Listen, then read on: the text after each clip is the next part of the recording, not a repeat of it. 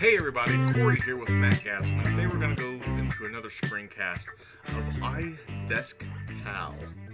Uh, it could be said faster than that, but I'm from Missouri, and I got a little bit of a southern accent. Top it off, I got a little bit of lisp for some strange reason. I don't know why I was cursed with that, but uh, iDesk is a great little utility app. It sits on your desktop. It shows you all your events.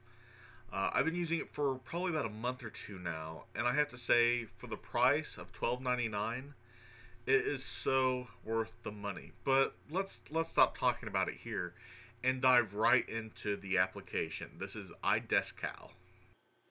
Okay, first thing you're going to notice is the calendar is actually in the lower left-hand corner of the screen here, and this lists everything that you have in your calendar. So for me, I have the Sync iPhone on the 25th. Macgasm group conference call, my parents' anniversaries, holidays, my dad's birthday, because I don't want to forget that. But if we come up here to the menu bar, we have the full list of things that we have available to us to use. So we have our basic Hashbang Industries tab that you can't see unfortunately here. It didn't show up. Uh, but let's open up our preferences. And this is our general preference. We can start at login. We can make it draggable, show the icon in the dock, or show the icon in the menu bar, which I choose to do generally. We can also add our hotkeys down here, so we can easily access everything in the application to add events, show to-dos, and manage to-dos. We also have our calendar type and our display. Uh, how we want it to display, we customize everything that way. Now if we go over here and we're going to add an event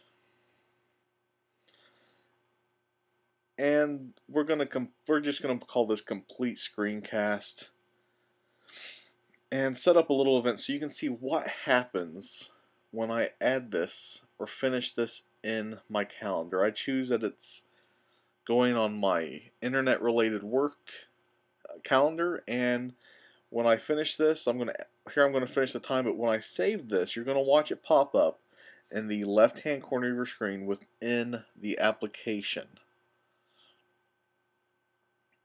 There it is, right at the top, and it actually represents the color that I have set up for in iCal. So now we're going to add a to-do.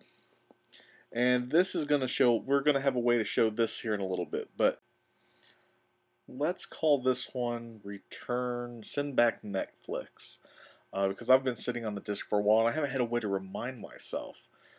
And this is going to go under my personal home calendar and I'm going to set this for my day off which is actually uh, coming up rather soon here on Monday.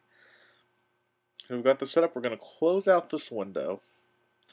And now you see it's down here in the application right here on the edge.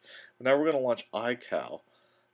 We're going to hit our pin button down here and you're going to see that it actually syncs up right over here in our task within iCal. This syncs across everywhere. If you have MobileMe or you have this linked up to your Google, it's going to sync across Google as well. So what I want you to do is I want you to head over to Hashbang Industries website, which is hashbangind.com check out this application. It's $12.99. Give it a trial for a couple weeks. See how you like it. And we'll catch you next time.